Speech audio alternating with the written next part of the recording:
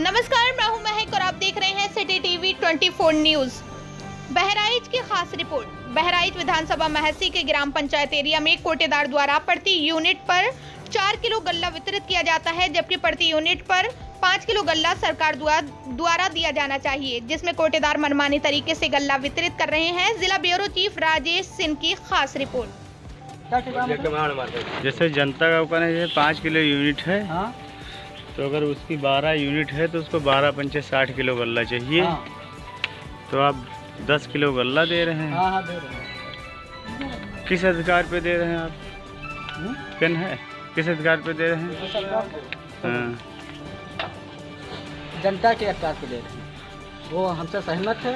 नहीं ऐसा क्यों सहमत है? सोलह हज़ार रुपये तुमको मंथली मिल रही है पेंशन तनख्वाह मिल रही है। सोलह हज़ार कौन दे रहा है? कौन दे रहा है? हाँ। सोलह हज़ार जो दे रहा है उसका नाम बता दीजिए। मोबाइल पे हमरा उठा लो। ये नंबर उठा लो। सोलह हज़ार में केंद्र सरकार पैसा दे रही है? हम्म। आपको कर।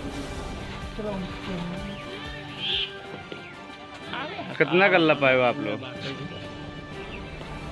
चार अठारह किलो अठारह किलो चार यूनिट के। हाँ उनको कोई दिक्कत नहीं है। अगर उनको दिक्कत है पाँच- तो हमसे हमसे कहें। पहले आप बताइए है? पहले आप बताइए नाम क्या है आपका? ले जाता था नहीं नहीं नहीं नाम क्या है आपका?